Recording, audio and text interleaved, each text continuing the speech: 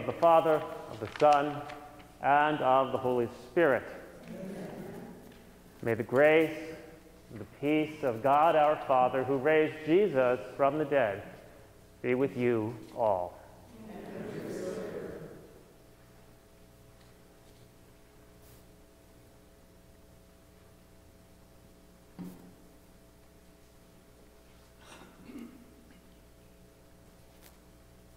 In the waters of baptism, Douglas Oldfather Abbott died with Christ and rose with him to new life. This day, may he share in the Lord's eternal glory.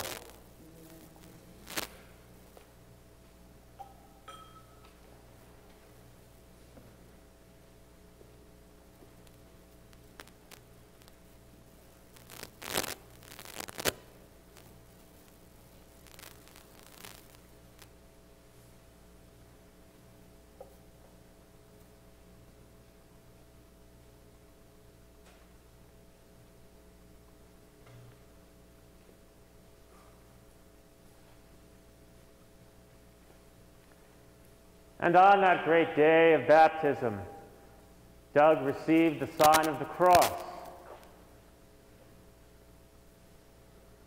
It remains our enduring hope for salvation in Christ Jesus.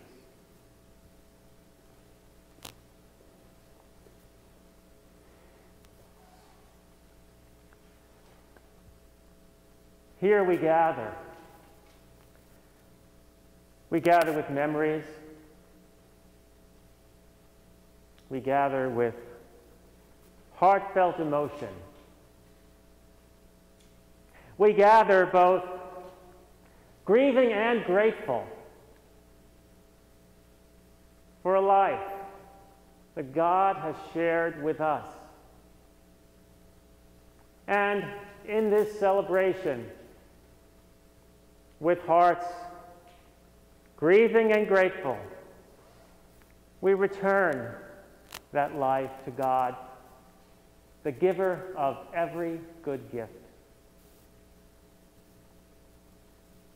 For we know that at the time of death, all the love, all the tenderness and care, all the sacrifice that has knitted us together and made us one does not unravel the love does not die. The bonds are not erased. With faith in our God of merciful love, who knows the good we have done, we gather this day for a time of prayer.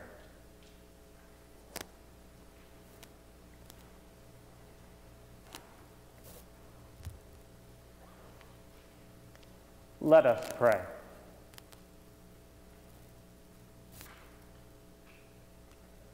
O God, whose nature is always to forgive and to show mercy, we humbly implore you for your servant Doug, whom you have called to journey to you. And since he hoped and believed in you, grant that he may be led to our true homeland to delight in its everlasting joys through our Lord Jesus Christ, your Son, who lives, who reigns with you in the unity of the Holy Spirit, one God, forever and ever.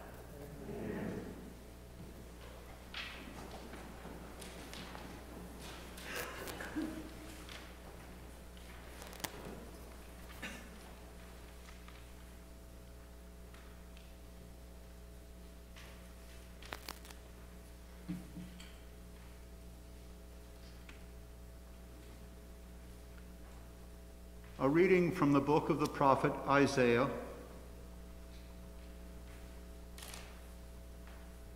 On this mountain, the Lord of hosts will provide for all peoples a feast of rich food and choice wines, rich, juicy food and pure choice wines on this mountain, the Lord will destroy the veil that veils all peoples, the web that is woven over all nations. The Lord will destroy death forever. The Lord God will wipe away from the, te- the tears from all faces. The reproach of his people he will remove from the whole earth. For the Lord has spoken.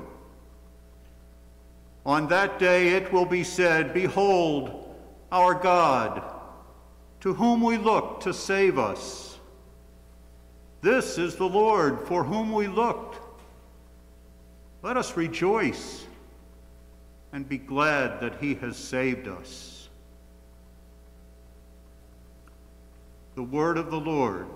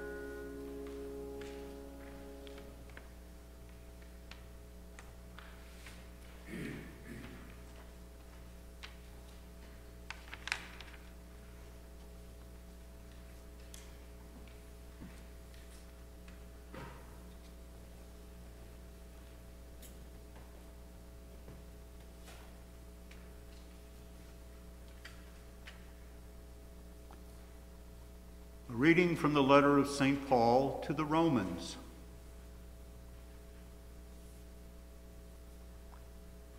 What shall we say to this? If God is for us, who can be against us? He who did not spare his own son, but handed him over for us all, how will he not give us also everything else along with him? Who will bring a charge against God's chosen ones? It is God who acquits us. Who will condemn? It is Christ Jesus who died, rather was raised, who also is at the right hand of God, who indeed intercedes for us. What will separate us from the love of Christ? Will anguish or distress or persecution or famine or nakedness or peril? or the sword? No. In all these things we conquer overwhelmingly through him who loved us. For I am convinced that neither death nor life, neither angels nor principalities, nor present things nor future things, nor powers, nor height, nor depth, nor any other creature will be able to separate us from the love of God in Christ Jesus our Lord. The word of the Lord.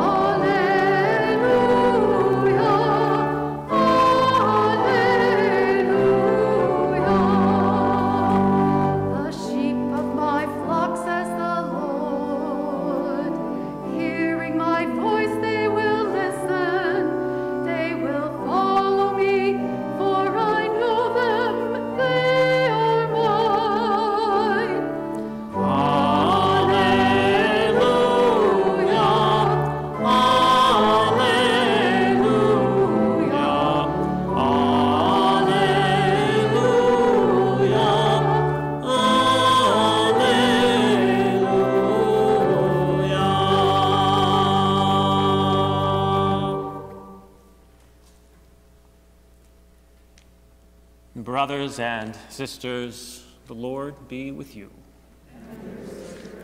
A reading from the Holy Gospel according to Matthew.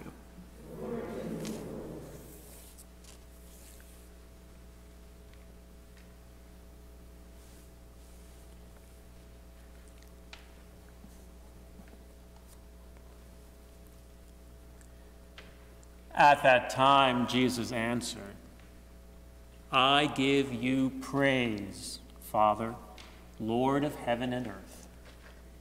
For although you have hidden these things from the wise and the learned, you have revealed them to the childlike. Yes, Father, such has been your gracious will. All things have been handed over to me by my Father.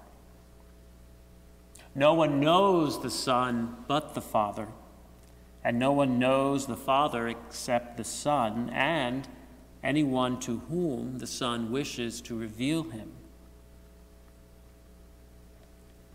Come to me, all you who labor and are burdened, and I will give you rest. Take my yoke upon you and learn from me, for I am meek and humble of heart. And you will find rest for yourselves, for my yoke is easy my burden light. The Gospel of the Lord.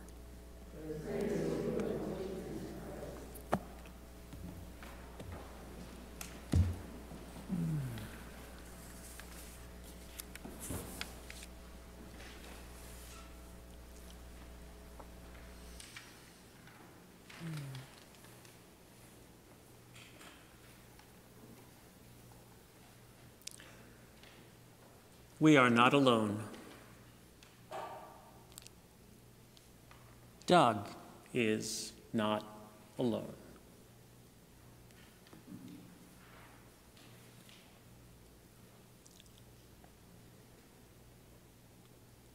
This liturgy began with a solemn remembrance of baptism. The paschal candle symbolizing the risen Christ,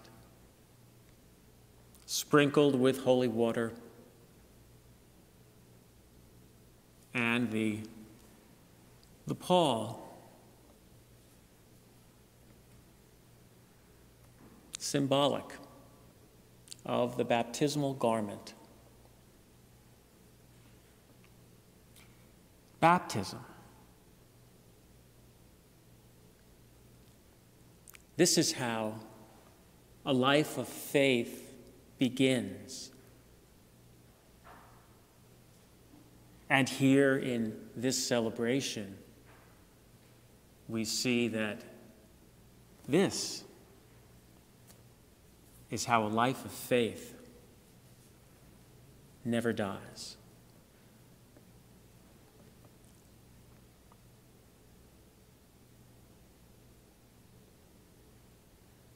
If God is for us, who can be against us? Paul asks and makes an excellent case, a fine argument. God is for us. The invitation the invitation Doug received, the invitation all the baptized receive for us to be for God. Who has loved us in Christ.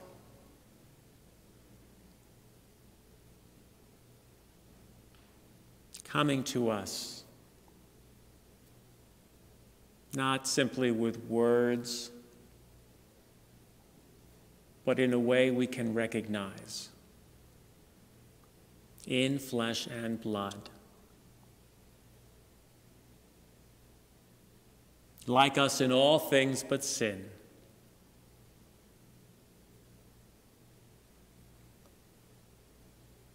That we may relate to Christ and to one another, and that we may serve Christ in and through one another.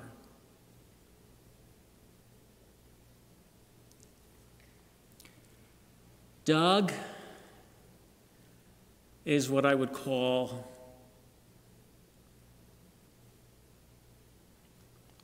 a commuter missionary.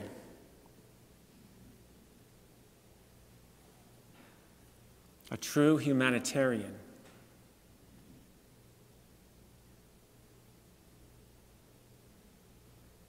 Most of us have never seen the airports in places like Addis Ababa or Dar es Salaam. Doug knew them. As he traveled on scientific humanitarian mission,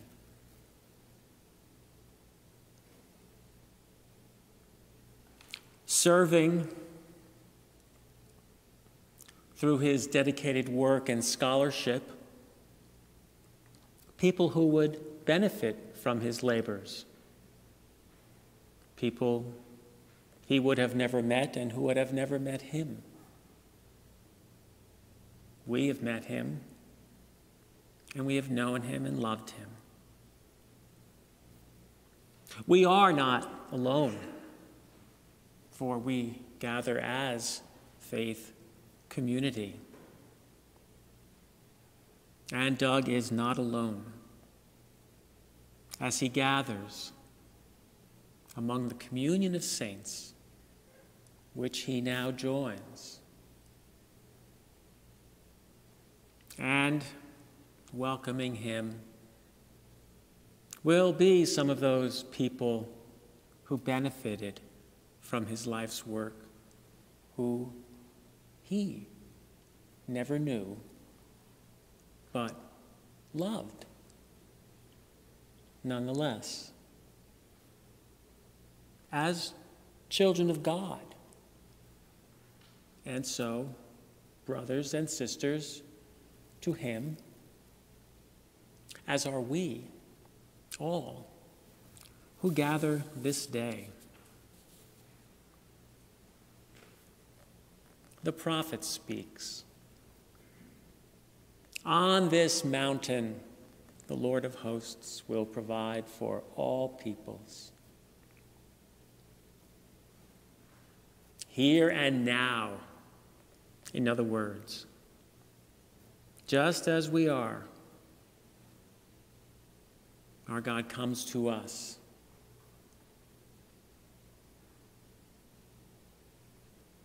principally through the support we give to one another.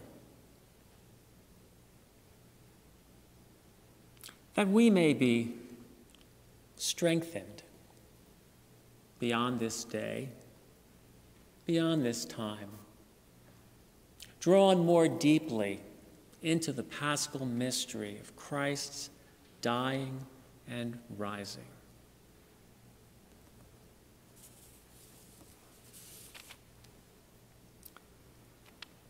Come to me, Jesus says.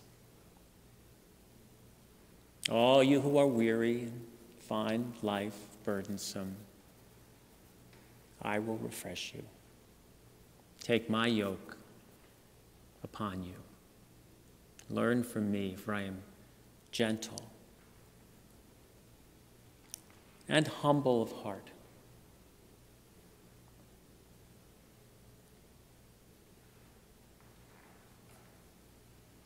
In this, we're invited to walk in the ways of Jesus, to make the kinds of choices he made. Doug made those choices. We're invited to serve as Jesus served. We're invited to love as Jesus loves.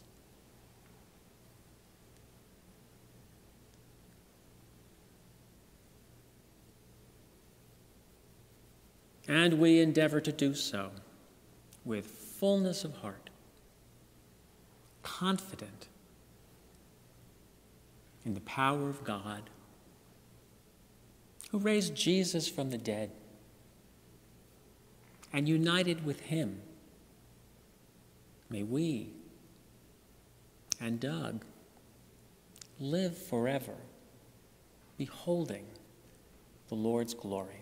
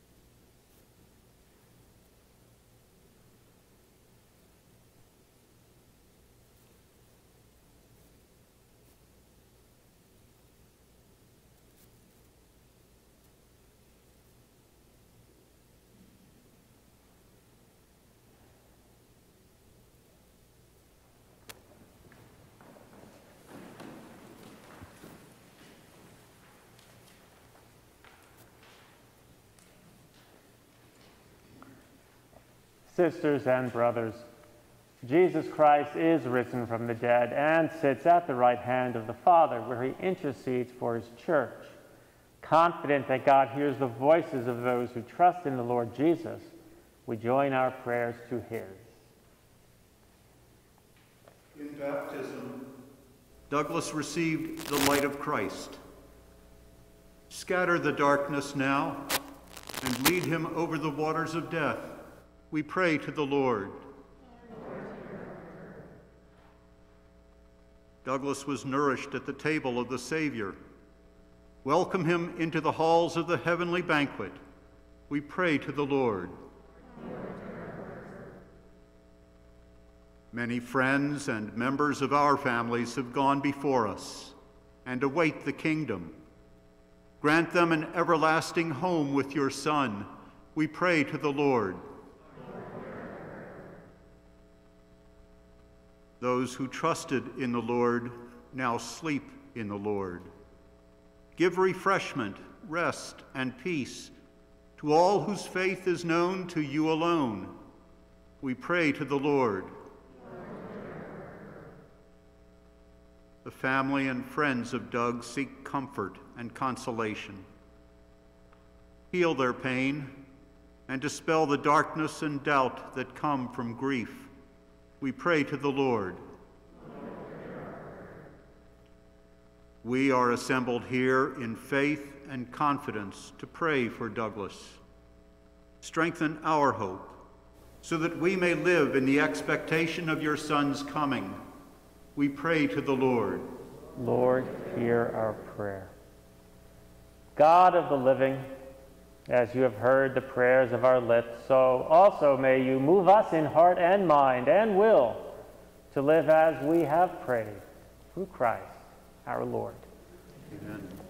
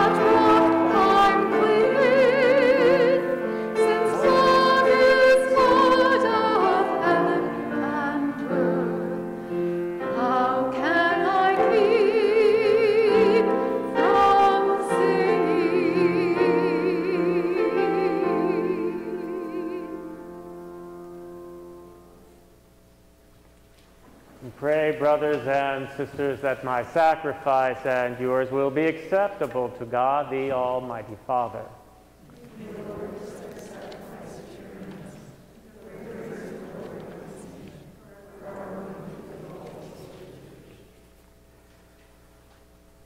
As we humbly present to you these sacrificial offerings, O Lord, for the salvation of your servant Doug, we beseech your mercy that he who did not doubt your Son to be a loving Savior may find in him a merciful judge who lives and reigns forever and ever. The Lord be with you. Lift up your hearts. And let us give thanks to the Lord our God. It is truly right and just. It is our duty. It is our salvation always and everywhere to give you thanks, Lord, Holy Father, Almighty, Eternal God, through Christ our Lord. In him the hope of a blessed resurrection has dawned, that those saddened by the certainty of dying may be consoled by the promise of immortality to come. Indeed, Lord, for your faithful people, life is changed, not ended. And when this earthly dwelling turns to dust, an eternal dwelling is made ready in heaven. And so, with all the company of heaven, we sing the hymn of your glory. Without end, we acclaim.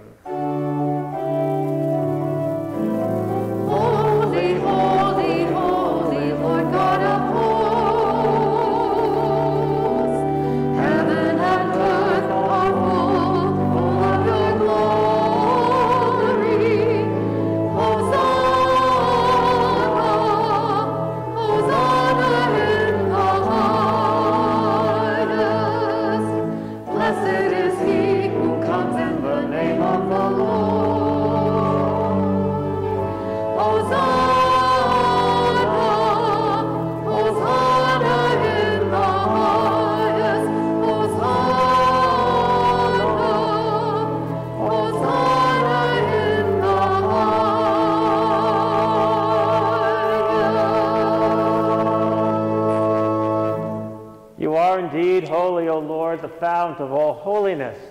Make holy then these gifts, we pray. Send your Spirit upon them like the dewfall, that they may become for us the body and blood of our Lord Jesus Christ. At the time he was betrayed and entered willingly into his passion, he took bread.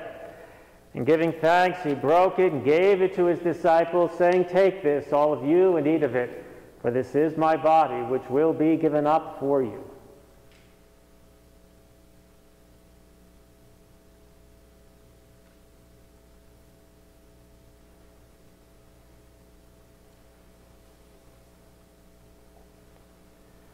In a similar way, when supper was ended, he took the chalice. Once more, giving thanks, he gave it to his disciples, saying, Take this, all of you, and drink from it. This is the chalice of my blood, the blood of the new and eternal covenant, which will be poured out for you and for the many for forgiveness of sins.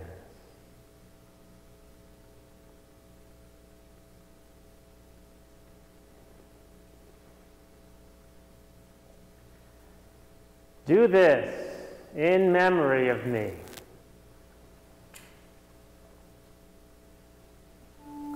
The mystery of faith. When we eat this bread and drink this cup, we proclaim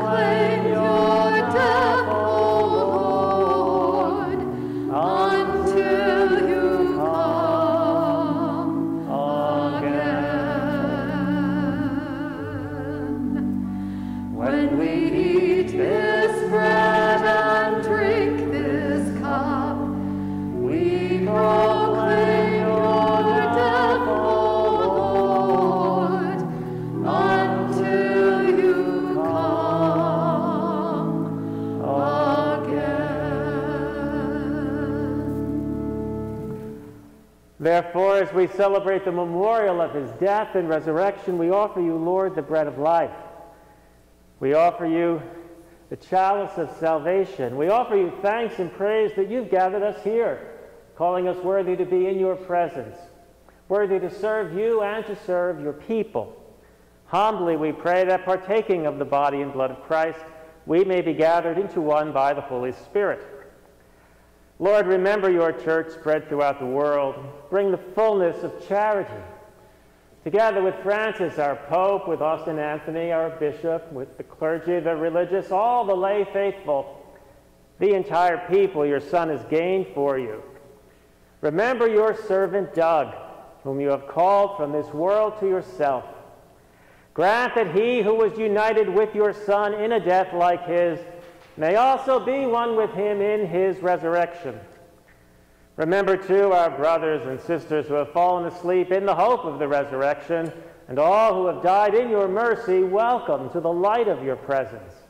Have mercy on us all, we pray, that with the Blessed Virgin Mary, Mother of God, blessed Joseph, her spouse, with the apostles and all the saints who have pleased you throughout the ages, we too may be co heirs to eternal life, to praise and glorify you through your Son, Jesus Christ.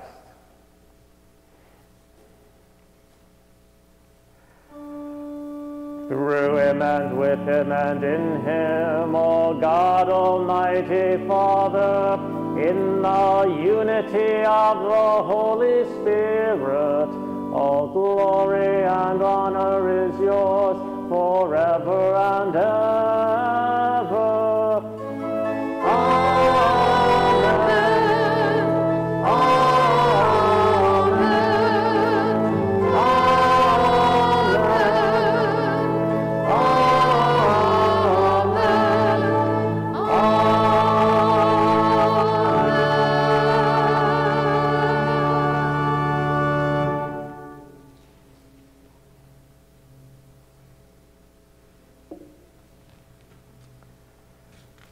The Savior's command and formed by divine teaching, together we pray.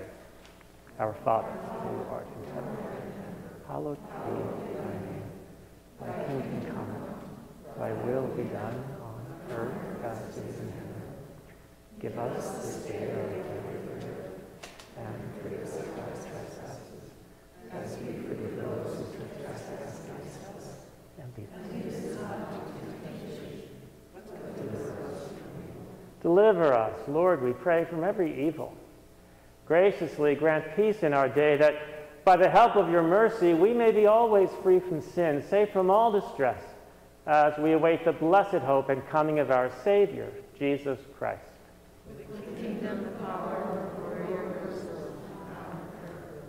Lord Jesus Christ, who said to your apostles, I leave you peace, my peace I give to you.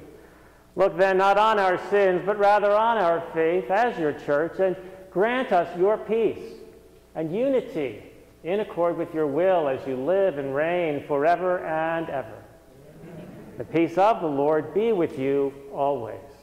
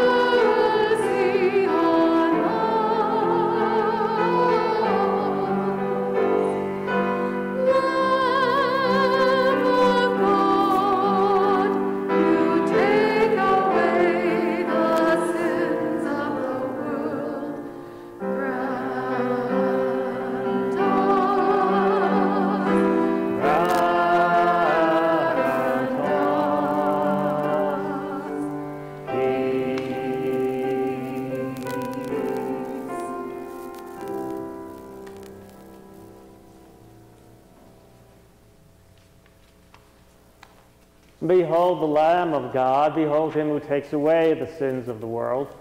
Blessed are those who are called to the supper of the Lamb. Lord, I am not worthy you should enter into my